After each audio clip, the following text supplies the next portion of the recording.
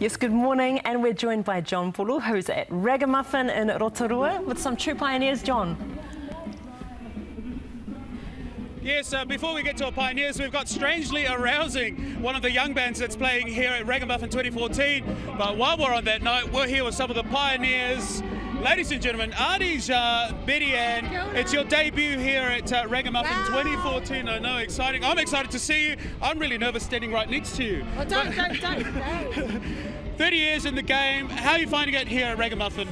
Pretty, um, pretty big. I mean, it's lots of, lots of really good music.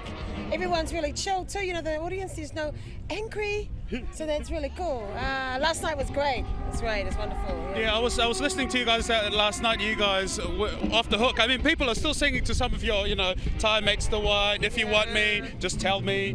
Um, that's your song, by the way. I'm not asking for anything dodgy there. That sounds bad. That sounds bad. All right, Brad. but anyway, um, you know, guys, it's it's really exciting to be here. W- w- 30 years. What's kept you guys together?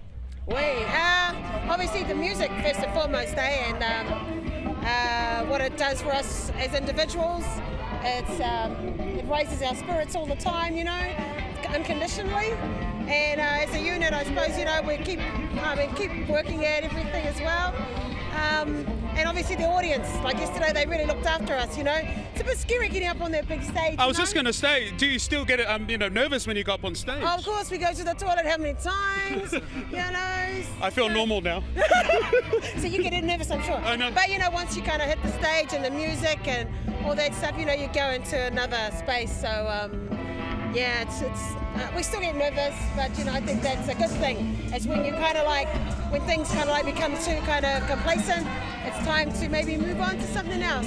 Yeah. Fantastic, you guys are something else. Thank you so much, Ardijah, for joining us on the show. Tagata Pasifika Live here at Raggamuffin. If you're nearby, come over and see us or see these guys walking about. I don't know, they might buy your feet too, eh? Is that right? Yes, that's right. anyway, Ofatu, back to the studio here from Raggamuffin, Rotorua.